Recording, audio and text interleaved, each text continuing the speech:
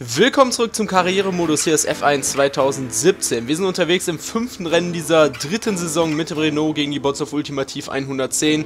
Heute starten wir rein in den großen Preis von Catalunya in Spanien und hier sehen wir, was wir bisher schon mal erreicht haben, nämlich zwei erste Plätze, einen sechsten Platz und einen zweiten Platz. Das bringt uns momentan auf P1 in der Gesamtwertung. Bevor ich das vergesse, an der Stelle auch nochmal ein dickes Dankeschön für 71 Daumen nach oben auf die letzte Folge. Das ist ja genau das, was ich eigentlich gesagt habe. 70 Daumen nach oben, das wäre wirklich richtig geil. Und genau das habt ihr quasi auch da gelassen und würde mich freuen, wenn die heutige Folge auch wieder 70 Daumen nach oben erreichen könnte oder sollte oder wird, wie dem auch sei. Wir starten rein in den inhaltlichen Teil dieses großen Preises von Catalunya hier in Barcelona. Wir sehen, es ist ein regnerisches Training, aber das sollte ja inzwischen gar kein Problem mehr sein. Denn, ähm, ja, ich sag mal, Regen in F1 2017, das habe ich jetzt so langsam aber sicher raus. Und wir sehen, wir haben kurz vor dem ersten Training hier in Catalunya rechts die äh, alten Komponenten reingepackt, logisch, um halt die neuen Komponenten uns für das Rennen aufzusparen. Denn wir dürfen ja nicht vergessen, wir haben hier über die ganze Saison gesehen, ich glaube, vier oder fünf komplett neue Komponenten zur Verfügung und ansonsten gibt es halt eine Strafe. Ich glaube, vier sind vorgesehen und sobald man das fünfte installiert, gibt es dann eine Strafe. Und wir sind jetzt schon bei, ähm, ja, bei den zweiten komplett neuen Komponenten. Da haben wir jetzt aber gerade erst mit angefangen. Das bedeutet, wir sind noch ganz gut im Plan. Und ja, ich denke, irgendwann in irgendeinem Rennen, wahrscheinlich gegen Ende der Saison, wie auch schon letzte Saison, werde ich wahrscheinlich wieder mal in den sauren Apfel beißen müssen und werde höchstwahrscheinlich eine Strafversetzung in Kauf nehmen müssen, damit das Auto bis zum Ende der Saison durchhält. Aber bis dahin ist es ja noch ein bisschen und bis dahin können wir schauen, dass wir hier die Ressourcen so gut sparen, wie es nur irgendwie möglich ist. Ja, wir sehen, wir haben hier auf unserer Streckenakklimatisierungsrunde auch mal wieder alle Törchen auf Lila durchfahren und das ist äh, ja sehr schön, würde ich sagen. Das bringt uns auf 50 Ressourcenpunkte in diesem Bereich. Und auch hier das Benzinmanagement, ich habe es schon oft erwähnt, im Regen deutlich, ich betone deutlich einfacher als im Trockenen. Denn im Regen kann man einfach die ganzen Kurven in einem deutlich höheren Gang durchfahren und man ist einfach mega langsam. Man hört es, der Motor ist total untertourig. Aber letztendlich, äh, ja, scheint das dem Spiel besser zu gefallen. Wir sind über eine Sekunde im positiven Delta, fast zwei Sekunden im positiven Delta und haben hier einfach mal den optimalen Benzinverbrauch. Und äh, ich betone an der Stelle nochmal, dass ich hier nicht irgendwie im Training oder so die Schwierigkeit runterstelle oder so. Auf keinen Fall. Ich, ich lasse alles von vorne bis hinten auf 110. Ich habe ja schon mehrere Leute auf Facebook in der Gruppe oder so gesehen, die sagen dann, ja, ich fahre, keine Ahnung, die äh, Trainingsprogramme auf Schwierigkeitsgrad 90. Im Qualifying stelle ich dann auf 100 und im Rennen stelle ich dann auf 103 oder so. Nein, das nicht. Das habe ich in der allerersten Saison am Anfang gemacht, denn da ging es wirklich überhaupt nicht klar. Da hat man nämlich überhaupt keine Ressourcenpunkte gekriegt. Aber jetzt inzwischen, auch wenn es nicht lila ist, dann ist es halt so. Ich muss mir, ich muss mir halt richtig mal anstrengen hier, um hier irgendwie was zu erreichen. Und äh, ich denke, das sollte letztendlich auch äh, mein äh, Anspruch sein, sag ich mal. Ja, wir sehen hier das Reifenabnutzungsmanagement, das hat dann nicht so gut geklappt wie das Benzinmanagement, dennoch grüner Bereich, 30, 30 Ressourcenpunkte. Wir sind bei 400 und ein paar gequetschten Ressourcenpunkten. Und jetzt sind wir schon in Training 2 und da sehen wir, es ist diesmal ein sonniger Himmel, deutlich entspanntere Bedingungen, um hier die Trainingsprogramme zu absolvieren. Wir sehen, wir sind oben rechts im positiven Delta und das fast drei Zehntelsekunden.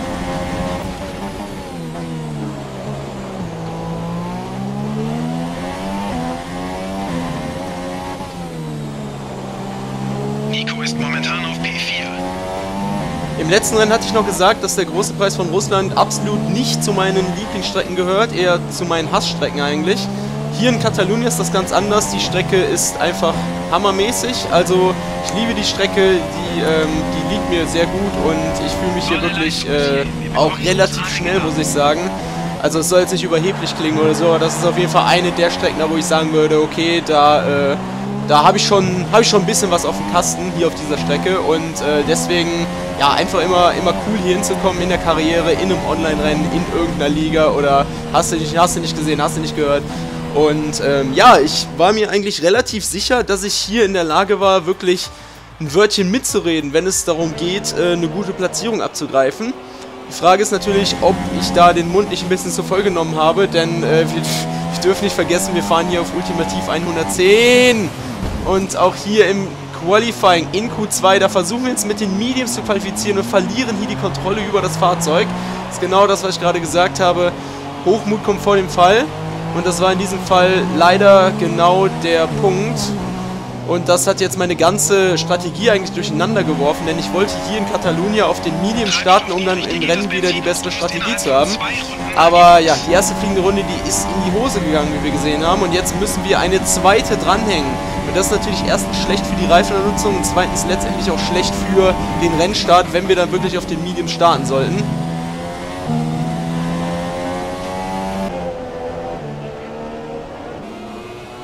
Hier diese langgezogenen Linkskurven extrem brutal für den vorderen linken Reifen.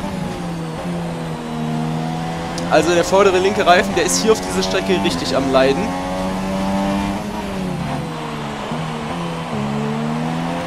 Falls du nicht auf Platz 10 oder besser fährst, startest du nicht im Shootout. Also gib alles. Ja, danke Jeff, ich gebe schon alles. Diese Information brauchst du mir nicht geben.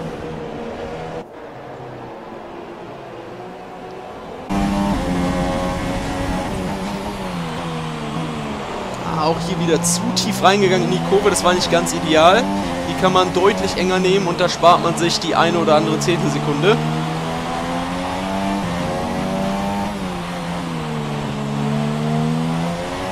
Diese letzte Kurve ist sowas von wichtig. Da muss man... Ich kann es nicht beschreiben, aber die Kurve ist wirklich extrem wichtig. Da muss man quasi inmitten der Kurve, wenn man schon gelenkt hat, muss man schon auf dem Gas sein. Ansonsten ist man viel zu langsam auf dem Exit. Und äh, ja, wie dem auch sei, ähm, wir sind Neunter mit unserer zweiten gezeiteten Runde auf den Mediums. Und das ist natürlich gar kein Ruhekissen. Ich hatte jetzt irgendwie so ein bisschen Angst, dass wir jetzt noch nach hinten durchgereicht werden. Deswegen habe ich mir gedacht, mh, mm, nee Mann, ich muss hier noch eine Runde dranhängen. Und zwar auf den Softreifen. Ärgerlich, denn ich wollte wirklich auf den Mediums starten, aber das, das ist mir jetzt irgendwie ein bisschen zu ein großes Risiko gewesen. Deswegen habe ich mir gedacht, nee, komm, klatschst, klatschst du noch eine safe Runde hin und verbesserst dich hier nochmal um ein paar Zehntelsekunden, sodass du hier auf keinen Fall rauspurzelst. Wir sehen, wir sind fast eine halbe Sekunde im positiven Delta und jetzt auch oben rechts fast eine Sekunde, kommen hier aber an der einen oder anderen Stelle ein bisschen zu weit von der Strecke ab. Und wir sehen, es reicht immer noch für den neunten Platz. Und ich glaube, selbst mit den Mediums hätte es dann doch noch gereicht. Und das ist so das Ärgerliche, was ich mir dann gedacht habe. Wie noch sei, wir sind in Q3 auf der letzten gezeichneten Runde hier in Q3 und wir sehen es Kimi Räikkönen mit einer 1.18.2 und das muss man sich mal, muss man sich mal geben. Ähm, Im Zeitfahren eine 1.18.2, das reicht locker und dicke für Top 100 auf der Weltrangliste, eher sogar Top, Top 70, Top 60, vielleicht sogar Top 50, ich weiß nicht, wie sich die Zeiten inzwischen verbessert haben. Aber ähm, also ich bin am Zeitfahren 1.17.6 gefahren und die Runde ist wirklich on point, 100%, mehr geht nicht. Und damit bin ich, glaube ich, Top 10 oder so. Aber 1.18.2 in der Karriere mit dem Renault, das ist sowas von utopisch, das kann man so knicken. Und deswegen ist es hier nur, in Anführungszeichen, der siebte Platz mit einer 1.19.1 und ich hatte schon das Gefühl, dass die Runde wirklich gut war. Aber an eine 1.18.1 von Lewis Hamilton kommt man im Leben nicht dran mit diesem Fahrzeug hier. Ich sag mal, selbst wenn man im Zeitfahren so eine Runde fahren will, dann muss das schon eine Runde sein, die richtig ordentlich ist. Also dann braucht man schon so, schon einige Minuten, so einige Versuche, um die Runde mal hinzukriegen, denn das ist wirklich nicht einfach und, äh, ja, wie dem auch sei, ich brauche jetzt nicht weiter rumheulen, die äh, Runde war absolut nicht erreichbar, ich bin zufrieden mit meinem siebten Platz. Hier haben wir kurz gesehen, wie viele WM-Punkte wir insgesamt haben. Wir stellen hier für das Rennen natürlich alle neuen Komponenten ein, damit wir die maximale Leistung haben. Und jetzt schauen wir auf die Startaufstellung. Wir sehen Lewis Hamilton vor Kimi Räikkönen mit einer 1.18.1. Ich kann es nicht oft genug betonen. Dahinter Sebastian Vettel, Valtteri Bottas. Daniel Ricciardo, Max Verstappen in Reihe 3. Dahinter sind wir neben Sergio Perez. Esteban Ocon auf der 9, Nico Hülkenberg auf der 10, Danny Quiert auf der 11, Carlos Sainz auf der 12, Grosjean 13, Fernando Alonso 14, Stoffel van Dorn auf der 15, Philippe Massa auf der 16, Magnussen 17., Lance Stroll 18. Und die letzte Startreihe besetzen Pascal Wehrlein und Markus Eriksson. Und jetzt geht es los mit dem großen Preis von Catalunya hier in Barcelona. Es stehen wie immer 25% Renndistanz auf dem Programm. Werden wir hier einen guten Start haben. Das wäre auf jeden Fall wichtig, denn auf dieser Strecke kann man relativ schlecht überholen. Wir sehen, wir haben einen nicht so guten Start wie noch in den vergangenen paar Rennen. Ganz im Gegenteil werden wir direkt attackiert von Sergio Perez mit einer höheren Topspeed. Sehen Ricardo jetzt hier. Oh, leichtes Wheelbanging hier auf der rechten Seite mit Max Verstappen. Jetzt sind wir auf der Außenbahn, haben eigentlich die schlechtere Linie, können hier aber deutlich mehr Speed durch die Kurve mittragen und können direkt vorbeigehen an Max Verstappen hier in der ersten im ersten Sektor dieses Großpreis von Barcelona. Jetzt hier auf der Innenseite von Danny Ricciardo. Wir sehen Valtteri Bottas auf den Mediums-Reifen zu diesem Zeitpunkt des Rennens unterwegs. Jetzt hier Rad, Rad mit Danny Ricciardo. Ricciardo jetzt aber hier mit dem besseren Exit und sichert sich hier nach wie vor die fünfte Position und da wollen wir nicht Harakiri-mäßig reinstechen. Das wäre jetzt ein bisschen zu vieles Guten gewesen.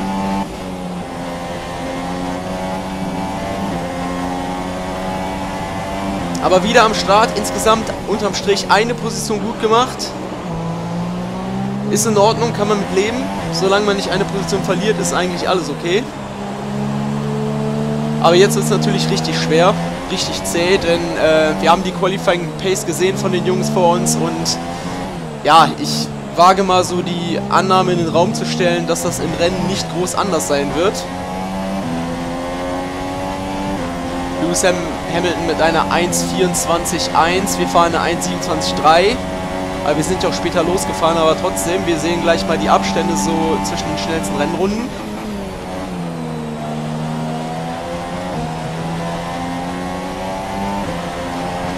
Wir sind gerade mal in Runde 2, haben jetzt schon 17% Abnutze vorne links. Also Reifenabnutzung ein absolutes Thema hier beim großen Preis von Barcelona in Spanien.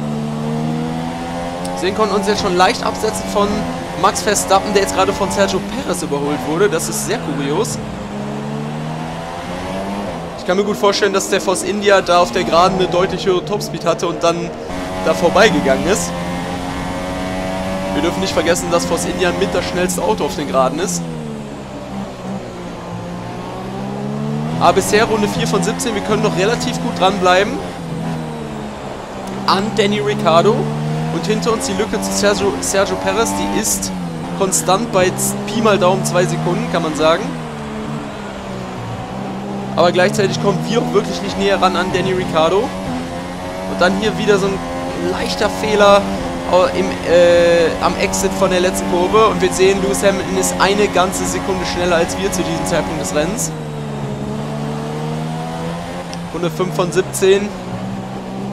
Abstand relativ konstant geblieben.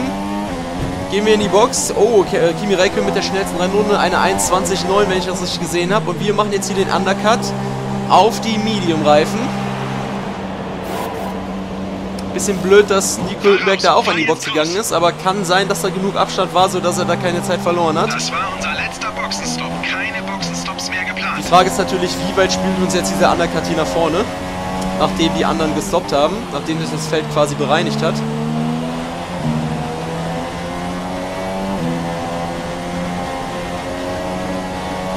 Ein Undercut kann natürlich auch immer ein bisschen nach hinten losgehen, wenn man dann hier in so eine Verfolgergruppe kommt, die auf alten Reifen unterwegs sind und eine deutlich lang langsamere Speed haben, wie zum Beispiel hier die Saubers.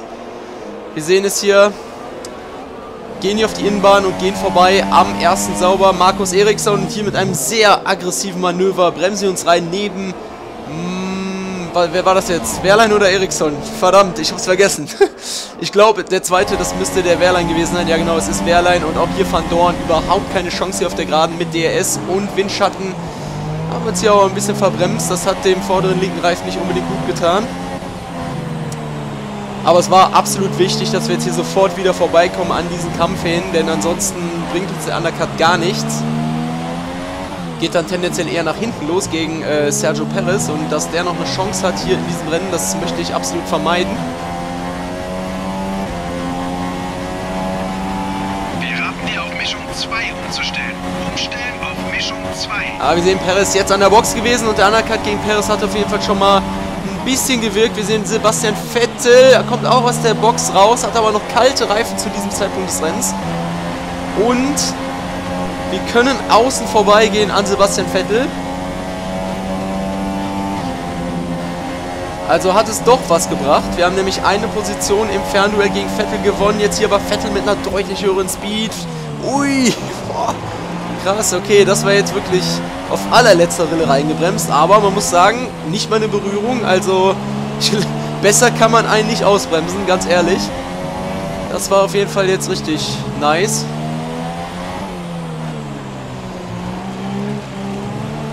Ne, wo war ich gerade stehen geblieben? Undercut gegen Vettel hat gewirkt. Wobei Vettel natürlich deutlich schneller ist im Rennen. Die Frage ist natürlich, ob er rankommt. Er ist erstmal jetzt in, hinter dem Williams, den wir gerade ausgebremst haben. Aber jetzt sehen wir, jetzt waren auch einige andere an der Box. Danny Ricciardo zum Beispiel auf der 6, den konnten wir nicht gefährden durch unseren Undercut. Ganz im Gegenteil, ich habe sogar das Gefühl, dass die äh, Lücke zu Ricciardo ein bisschen größer geworden ist. So eine Runde 8 von 17. Auch Magnussen jetzt an die Box gegangen, wie wir oben links sehen können. Sainz auch an der Box, wie wir oben links sehen können. Und jetzt müsste sich das Feld bereinigt haben. Und da sehen wir, wir sind durch unseren Undercut insgesamt eine Position nach vorne gekommen, also von P6 auf P5. Dadurch, dass wir glücklicherweise Sebastian Vettel mit seinen kalten Reifen direkt sozusagen eiskalt erwischt haben. Tolles äh, Wortspiel. Aber ihr wisst, was ich meine. Wir sehen vorne links der Reifen, 58%, genau das, was ich am Anfang des Videos gesagt habe. Der vordere linke Reifen, der ist hier absolut beansprucht. Wir sind ganz nebenbei auch schon im letzten, in der letzten Runde dieses Rennens, weil sich in der Zwischenzeit überhaupt nichts getan hat. Wir konnten die Speed von Ricardo letztendlich nicht mitgehen und Vettel ist relativ konstant hinter uns geblieben, konnte auch nicht so wirklich aufholen. Außer in den letzten paar Runden, ist er dann doch einen Ticken näher rangekommen, aber wir konnten hier überhaupt nichts ausrichten gegen Danny Ricciardo. Wir sehen der Abstand 6, irgendwas Sekunden und das unterstreicht so ein bisschen auch schon die Qualifying Speed, also absolut, muss ich sagen, absolut gar keine Chance gehabt hier gegen die äh, Leute, die sich vor uns qualifiziert haben letztendlich. Glück, dass wir da noch Vettel durch unseren Undercut ein bisschen ärgern konnten, aber letztendlich äh, hat man hier in Barcelona gesehen, dass die Speed letztendlich nicht gereicht hat, um auf Mercedes und, ja, sagen wir mal Red Bull, Schrägstrich Ferrari Niveau zu sein. Denn letztendlich war Kimi Räikkönen auch schon deutlich schneller und ich denke mal, Sebastian Vettel hätte die gleiche Speed gehabt, wenn er sich, äh, wenn er vor uns gewesen wäre äh, nach dem Boxenstopp. Ansonsten würde ich sagen, 10 WM-Punkte ist absolut in Ordnung hier für den größten Preis von Spanien. Ich kann zufrieden sein letztendlich. Ich denke, mehr war nicht drin. Und jetzt schauen wir uns mal kurz an, wie viele Ressourcenpunkte wir kassieren. Das sind hier und heute 110 an der Zahl, plus dann nochmal 53 für den Bonus als erster Fahrer. Das bedeutet, wir können hier ein nächstes Update installieren, wahrscheinlich im Bereich Aerodynamik. Wir sehen, Aerodynamik haben wir gerade 19% Fortschritt. Bei den anderen haben wir schon ein bisschen mehr, wobei Antrieb könnte auch mal langsam wieder äh, geupgradet werden. Aber ich denke mal, ich entscheide mich für die Aerodynamik. 700 Ressourcenpunkte auf unseren Nacken, das tut weh. Aber man will ja vorwärts kommen. Ja, und ich denke, damit sind wir langsam aber sicher am Ende des Videos angekommen. Ich hoffe, euch hat das Video Spaß gemacht. Falls es so sein sollte, würde ich mich natürlich wie immer über Daumen nach oben freuen. Ich wollte nicht sagen 70 Daumen nach oben, aber 70 Daumen nach oben wären auf jeden Fall richtig nice. Hier, sehen, hier seht ihr nochmal kurz, was hier passiert fürs nächste Rennen. Entwicklung natürlich fehlgeschlagen, was auch sonst. Das bedeutet, wir müssen wieder zusätzliche Ressourcenpunkte investieren. Ich würde sagen, ich verabschiede mich von euch. Lasst einen Daumen nach oben da, falls euch dieses Video gefallen haben sollte. Bis demnächst und ciao.